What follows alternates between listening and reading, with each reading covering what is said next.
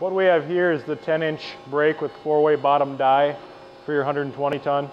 This is installed in the open station, just like you have on your machine. The way we have this set up here, you have an adapter plate that goes in, your four-way bottom die will go on top of that, and then you have your L brackets. The bolts will go down, you tighten these up. Procedure for setup on this, you get your top block in here first.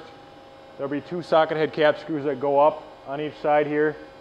Your V-die'll go in next. There's set screws right there, there, and there. You tighten those in to hold your top V in.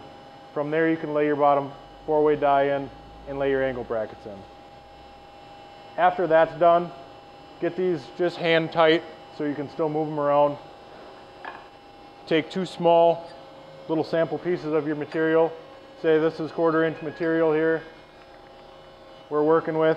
We'll set this in, run this down, and then say you turn the machine off from there. Get your bottom bolts tight, get your set screws tight, which I've already done in this here. But this is just example of what it would look like to get a setup in your procedure. What this does is keep your brake even on each side. So we can take that out. We've got these pieces here. As you see, it gives you a nice 90 on a bend. Now, if you, know, if you don't want to do a full 90, that's where you go back to the stroke control. You can bring it up like this one here, for example. We're going to do a little bit less. We'll show you another example here, quarter inch thick.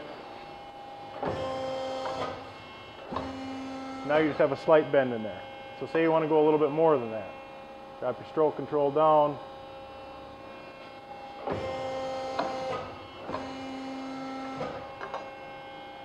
Now we're not at full 90. You can be wherever you want to be. It's a real simple piece.